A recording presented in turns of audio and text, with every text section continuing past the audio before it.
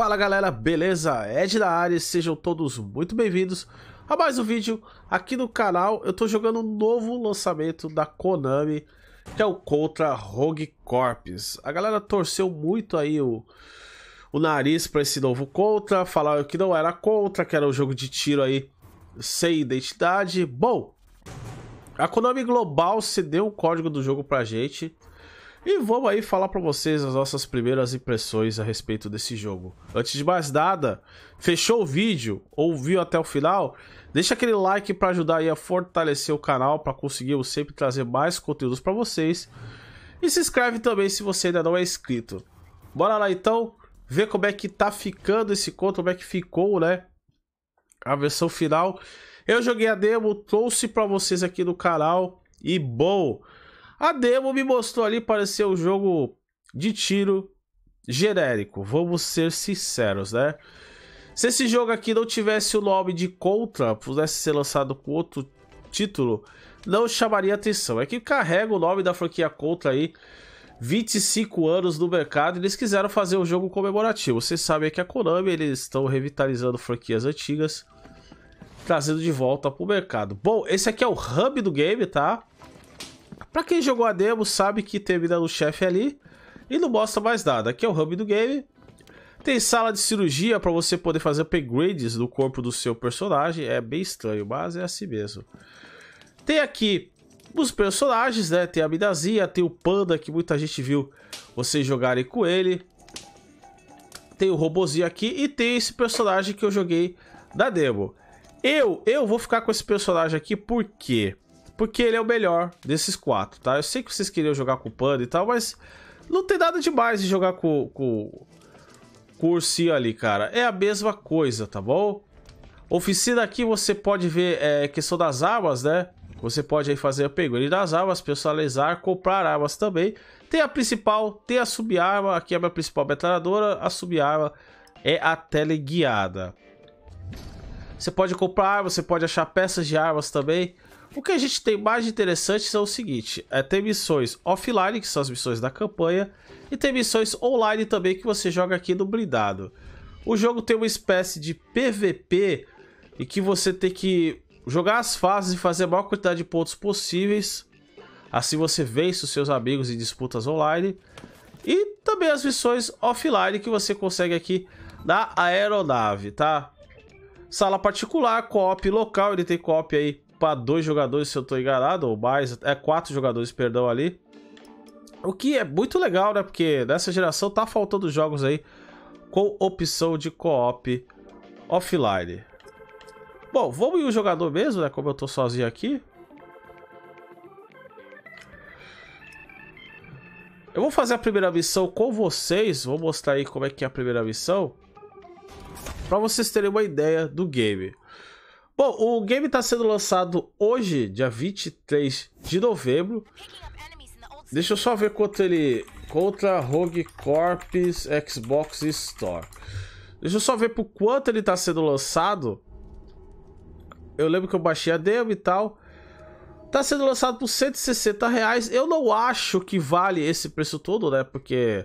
Até porque a gente aqui no Brasil paga muito imposto, paga muito o valor muito alto em cima dos jogos, mas assim. Numa promoção por 30 mango, eu acho que vale a pena você pegar, ó.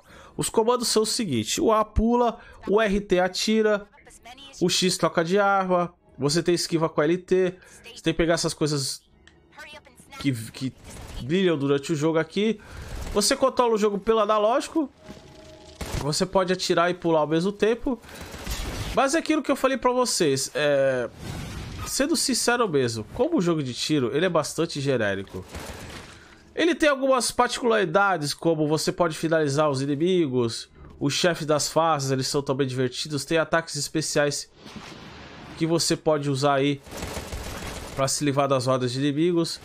Mas assim, é, é um jogo bem normal para quem queria causar polêmica, para quem queria é, trazer o, o, Contra de volta ao 3D, o Contra, para quem não sabe, já teve uma participação do universo 3D. Acho que faltou aqui é um pouco mais de emoção do jogo. A gente vai enfrentando rodas de inimigos aqui. Chega no final da fase, tem um chefezinho ali. Você mata ele e acabou.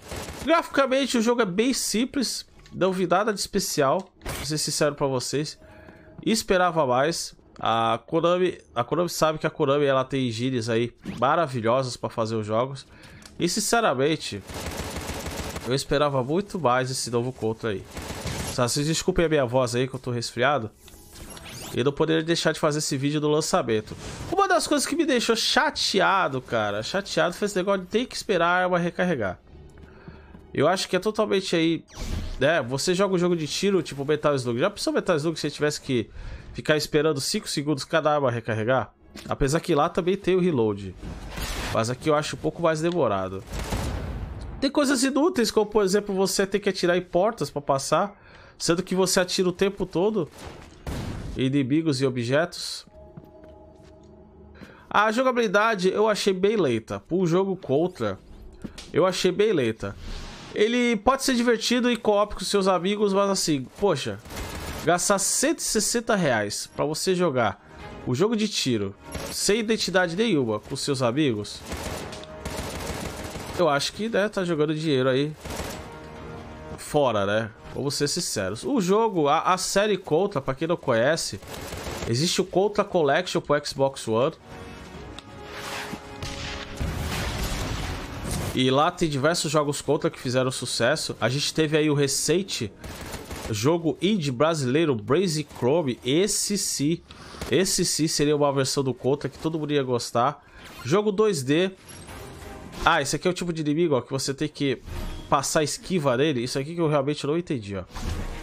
Passa esquiva nele, ele vai ficar... Vai ficar meio desnorteado, ó. Aí você vai e finaliza. Algumas animações desse jogo são legais. Mas não justifica, não justifica de maneira nenhuma o alto preço que a Konami colocou aqui no Brasil. Não justifica. Pra gente aí que tem serviços como Game Pass, jogos a um real no primeiro mês, 29 depois e outros meses, eu acho que é mais válido você assinar esse serviço. Eu agradeço muito a Konami Global, tá? Nick Hill lá, foi meu contato lá dentro da Konami Global. Ele tá passando esse jogo e passaram pra gente o Pro Evolution Soccer. São pessoas que acreditam no trabalho de criadores de conteúdo pelo mundo, as pessoas que realmente querem criar conteúdo, não apenas receber né, chaves de jogos para ficar se admirando em rede social, mas assim, é um jogo realmente. É, é totalmente diferente. Mas ele é médio para baixo. Ele é muito fraco. Para sustentar o preço, para sustentar o nome da série Contra. Ele é bem fraco mesmo. Ó, vocês verem aqui que é, não fiz nada demais até agora. Em vez de matar rodas de inimigo, vou soltar ataque especial para vocês verem. Pronto, é isso. Essa é a mecânica do Contra, é dar esquiva e atirar. Nada muito diferente também do que era antigamente, mas... Você tinha muito mais ação, era mais frenético, você corria pelos cantos, você tinha que desviar de inimigos. Esse aqui não, esse aqui é o Contra mais pé no chão, pular ou não não faz diferença. A questão aqui é você esquivar e fazer upgrade das suas armas. Infelizmente, acho que é, o jogo ele possui boas ideias, né, como o upgrade dos personagens, upgrade das armas, os chefes.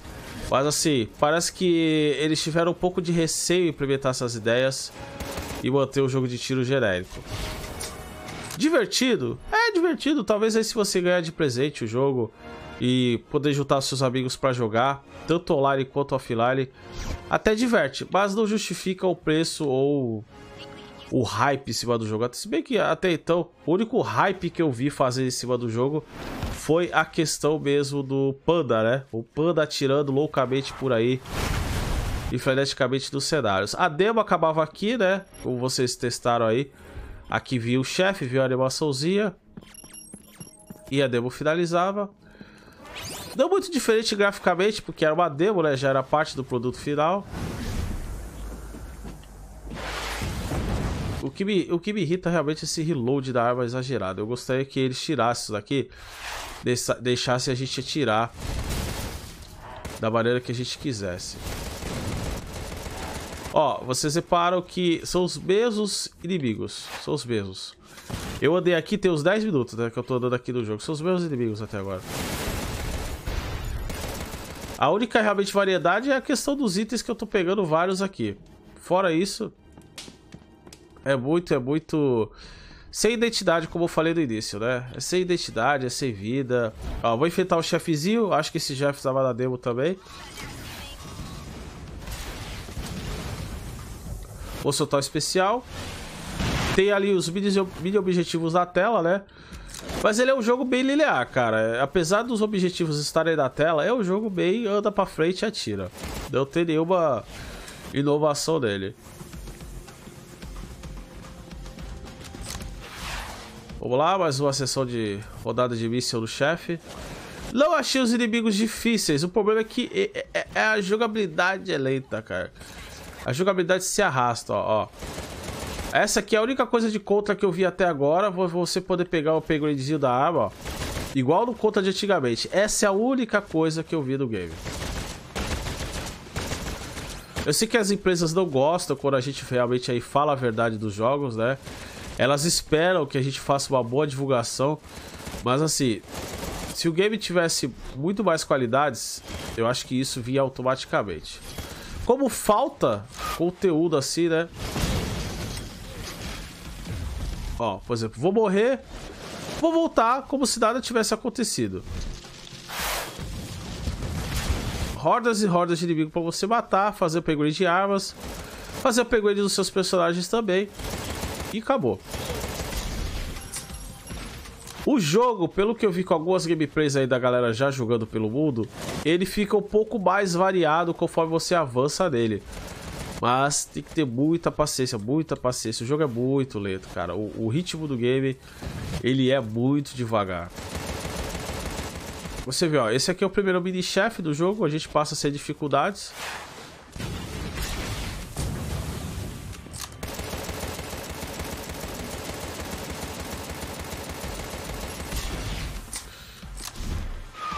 Eu não vou dizer que eu estava fazendo hype do jogo. Eu vou dizer que eu estava assim. Querendo testar. Por que não, né? Por que não? Um jogo novo aí, né, cara? Por que não? Eu não posso testar. Volta pra base, você fica aqui, simplesmente. Pronto. Missão cumprida. A gente fez a primeira missão do jogo, tá? Eu já joguei aí até o final da segunda aí. E foi aí o que eu consegui jogar, né? Eu vou tentar fazer live pra vocês lá no Mixer. Acesse o endereço aqui embaixo, mixer.com.br edtkd. Agradeço aí a Konami dos Estados Unidos por ter enviado o código pra gente.